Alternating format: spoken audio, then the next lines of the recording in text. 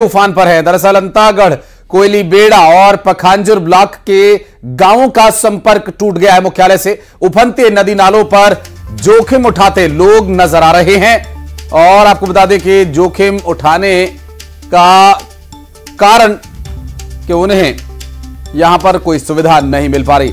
सड़क मार्ग, पुल, पुलिया जैसी जो परिस्थितियाँ हैं, वो इस बात के लिए मजबूर कर रही कि वो इस तरह से उफनते नदी नालों को पार करे। तो ये तस्वीरें जो आप देख रहे हैं, कांकेर से सामने आई, जहाँ पर कांकेर में जोखिम उठाते लोग नज़र आए हैं।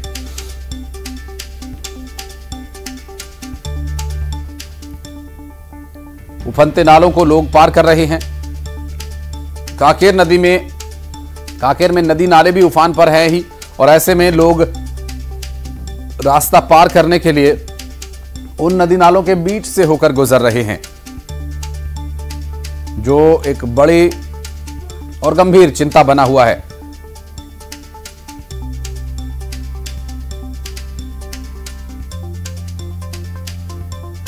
दरअसल, बारिश और नदी नालों के उफान पर आ जाने की वजह से एक और गंभीर परेशानी और तस्वीर सामने आई, जहाँ अंतागढ़ में स्कूली बच्चों से भरी हुई एक गाड़ी उफनती नदी को पार करती नज़र आई। ऐसे में कोई भी बड़ा हादसा हो सकता था।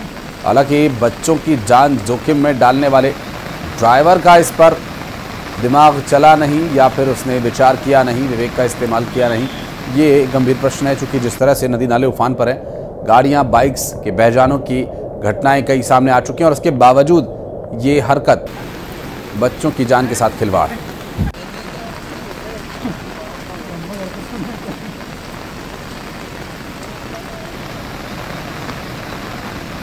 दरअसल मुंगेली में नाले का पुल भ्रष्टाचार की भेंट चढ़ गया। बता दें कि पुल की मरम्मत नहीं हुई और घोरपुरा के, रजपुरा के बीच नाले का पुल टूट गया है। जान जोखिम में डालकर लोग इस पुल को पार कर रहे हैं, जो किसी भी वक्त बड़े हादसे को निमंत्रण दे रहा है और किसी भी वक्त ये हादसा हो सकता है। गरियाबंद में बारिश से हालात बेहद खराब हो चले हैं। और ऐसा ही एक मामला, तस्वीर सामने आई जहाँ उफंती नदी में शव यात्रा निकालने को लोग मजबूर हो गए। ग्रामीण एक शव को अंतिम संस्कार के लिए ले जा रहे थे और अर्थी लेकर उफंती नदी को पार करते नज़र आए। ग्रामीण लंबे समय से यहाँ पर पुल बनाए जाने की मांग कर रहे हैं और पुल की मांग को लेकर कई बार हाईवे भी जाम किया जा चुका है, लेकिन कभी सुनवाई नहीं हुई। ऐसे में ग्रामीण जान जोखिम में डालकर उफंती नदी में से शव ले जाने को मजबूर है। नदी में रात को अचानक बाढ़ आया जिसकी वजह से गाँव पूरा टापू बन गया। और हम रात को उस युवक को इलाज कराने के लिए लेके नहीं जा सके जिसके वजह से आज उस युवक की मौत हो गई। हमने प्रशासन को पहले ही आगाह किया था कि आप ये काम को जल्द से जल्द चालू करें मरम्मत करें चाहे जैसा भी कर चलिए बात करेंगे हमारे सहयोगी शेख इमरान इस वक्त गरियाबंद से मौजूद हैं। तनु वर्मा रायपुर से हमारे साथ जुड़ गए। शैलेंद्र चौहान भोपाल से इस वक्त अपडेट देंगे और शैलेंद्र कौरव नर्मदापुरम से जानकारी देंगे। लेकिन सबसे पहले चलते हैं भोपाल, जहाँ शैलेंद्र चौहान हमारे सहयोगी मौजूद हैं। शैलेंद्र, बारिश लगातार जारी है और आज भी मध्य प्रदेश में करीब 23 जिलों को लेकर अलर्ट जारी किया गया। 22 से 23 जिलों में अलर्ट का मतलब है कि मौसम बिगड़ने वाला है। जी आशीष, देखिए, पूरा मध्य प्रदेश में बहुत ही मज़बूत मानसून का सिस्टम बना हुआ है। बंगाल की खाड़ी से लो प्रेशर एरिया जो बना, उसी कारण मध्य प्रदेश के सभी 55 जिलों में लगातार बारिश हो रही है। खासकर मौसम विभाग ने भी 40 जिलों में अलर्ट जारी किया है। यहाँ पर अलर्ट के साथ ही एहतियात बरतने को कहा गया। अगर बात की जाए तो भोपाल, जबलपुर, ग्वालियर, चंबल और जितने भी बड़े अंचल है, उज्जैन हो विदिशा हो, यहाँ पर सभी जगह पर लगातार बारिश हो रही है, बेतवा नदी, उफान पर है, नर्मदा नदी में भी वेग काफ़ी ज़्यादा है, उज्जैन में शिप्रा नदी में भी काफ़ी ज़्यादा तेज प्रवाह है। तो कहीं ना कहीं सभी नदियाँ भी अब लगातार जल स्तर के आसपास पहुँच रही है, जो उच्च जल स्तर है। तो कहीं ना कहीं मध्य प्रदेश में बाढ़ जैसा खतरा भी मंडराया हुआ है और उसी को लेकर एहतियातन सभी एसडीआरएफ की टीमें सक्रिय हो चुकी है और प्रशासन भी अलर्ट मोड पर है। मौसम विभाग ने भी आने वाले 48 घंटे भारी वर्षा की चेतावनी दी है, बड़ा अलर्ट दिया है और उसी के मद्देनजर प्रशासन और सरकार भी उपायों में जुटी हुई है। अगर बात की जाए भोपाल में तो यहाँ पर सुबह से तेज बारिश हो रही है। अभी भी लगातार बारिश का दौर जारी है। यहाँ का जो भोपाल का बड़ा तालाब है, वो अपने जो लेवल है, हाई लेवल उस तक पहुँचने में अब केवल दो फीट पानी बाकी है। तो निश्चित ही सभी जगह पर भोपाल हो या बाकी आसपास के जितने भी कोलार कलियासोट डैम हो सभी लबालब है। और अब एहतियातन सबसे ज़्यादा चिंता ये सता रही है कि बारिश के और हालात अगर बिगड़ते हैं तो किस तरह उन पर काबू पाया जाए इसी को लेकर एसडीआरएफ टीमों ने अपनी तैयारी शुरू कर दी है और सभी अलर्ट मोड पर है। बिल्कुल तनु के पास चलेंगे रायपुर जहाँ पर इस वक्त बारिश जो है छत्तीसगढ़ में भी अपना पूरा असर दिखा रही है। तनु क्या स्थिति है? मौसम विभाग की तरफ़ से क्या है पूर्वानुमान?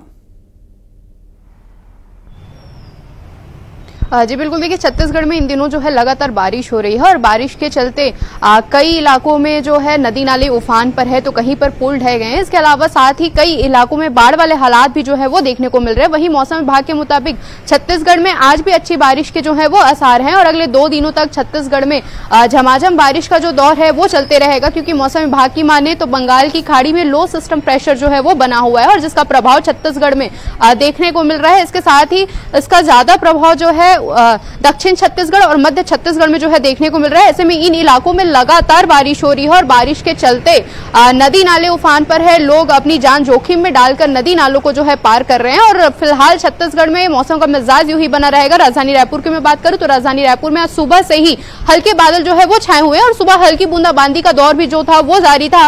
इसके बाद कहा जा सकता है कि थोड़ी देर में या शाम तक फिर राजधानी रायपुर में भी अच्छी बारिश जो है वो देखने को मिले। वहीं लगातार हो रही बारिश से राजधानी रायपुर के खारून नदी में भी जो है वाटर लेवल जो है वो बढ़ गया है और इसके साथ ही आसपास के जितने भी एरिया में नदी नाले हैं, उनमें वाटर लेवल जो है बढ़ गई है। वहीं मौसम विभाग की माने तो इस माह में जितनी बारिश होनी थी, उससे ज़्यादा बारिश इस बार जो है वो हुई है। इसके साथ ही पिछले साल की तुलना में छह परसेंट ज़्यादा बारिश होने की संभावना भी मौसम विभाग ने जो है जताई है। फ़िलहाल मौसम जो है वो सुहाना बना हुआ है। इसके साथ ही पहले मानसून की रफ्तार छत्तीसगढ़ में धीमी देखने को मिली थी, जिसके बाद अब लगातार सभी इलाकों में मानसून एक्टिव हो गया है। तो ऐसे में लोगों को राहत तो मिली है, लेकिन लगातार हो रही बारिश से आम जनजीवन भी जो है वो अस्त व्यस्त हो गया है। प्रभावित है नर्मदापुरम भी इस बारिश के असर से। शैलेंद्र गौरव के पास चलेंगे उसके बाद इमरान भी हमारे सहयोगी जुड़े हुए हैं। शैलेंद्र फ़िलहाल अभी क्या स्थिति है? क्या बारिश अभी भी हो रही है?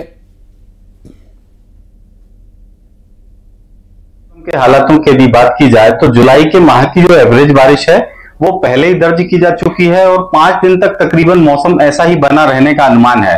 बरगी डैम प्रबंधन द्वारा एडवाइजरी जारी की गई है। वहाँ भी डैम का जो लेवल है, वो पूरा होने वाला है। वहाँ से डिस्चार्ज किया जाएगा। तवा का गवर्निंग लेवल भी तवा डैम प्रबंधन मेंटेन कर रहा है और वहाँ से भी एडवाइजरी जारी की गई है कि यदि जुलाई माह का गवर्निंग लेवल पहले ही पूरा हो जाता है तो डिस्चार्ज किया जाएगा।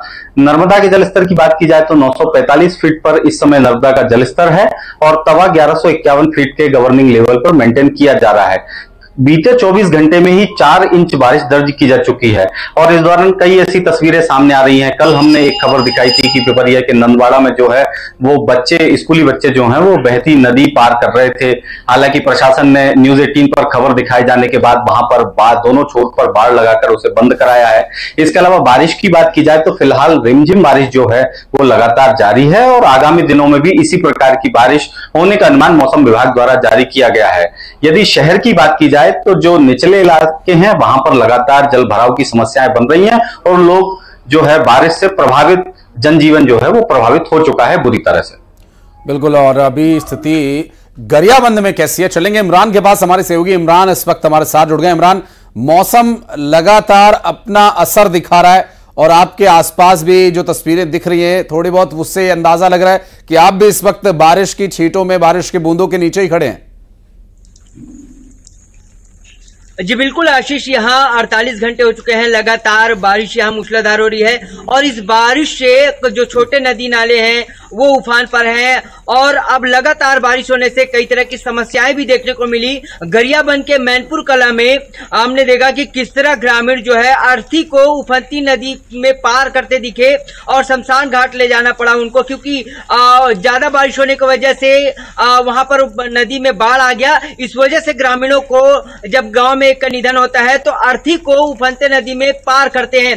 ग्रामीण जो लगातार जो है नेशनल हाईवे पर चक्का जाम कर चुके हैं पुल निर्माण की बात को लेकर, और वहीं अगर बात करें तो कई इलाकों में बाढ़ आने की वजह से नदी नाले उफान पर है। तो स्कूली बच्चे भी अपनी जान जोखिम में डालकर नदी को पार करते हैं। जिला प्रशासन एहतियात के तौर पर तमाम इलाकों में अलर्ट तो जारी कर दिए हैं, लेकिन कई जगहों पर बल तैनात है कई जगहों पर बल तैनात नहीं है। वहीं मैनपुर कला में जो तस्वीर देखने को मिला ये कहीं ना कहीं सिस्टम पर बड़ा सवाल खड़े करता है सिस्टम को फैल कर देने वाला ये आ, सवाल खड़े कर, खड़े करता है। वहीं किसानों की अगर बात करें तो किसानों के लिए राहत की बात है क्योंकि उनकी किसानी कार्य शुरू हो गए हैं। तो ये पानी उनके लिए फ़ायदेमंद है लेकिन कुछ इलाकों के लिए मुसीबत बनकर टूट रही है। कई घरों में पानी घुस गया है और कई इलाकों में बाढ़ की वजह से लोगों, लोग जो है अपने गाँव, लोगों के गाँव जो है टापू में तब्दील हो गया तो ये बारिश जो है कई लोगों के लिए मुसीबत बनकर भी अब बरस रही है और लगातार बारिश होने की वजह से जो तापमान में है वो गिरावट आई, क्योंकि कुछ दिन पहले उमस थी और उस उमस से लोगों को राहत तो मिली है,